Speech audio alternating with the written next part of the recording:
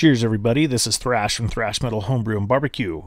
Going to be making a multi part video of making wine from concentrate, 100% juice.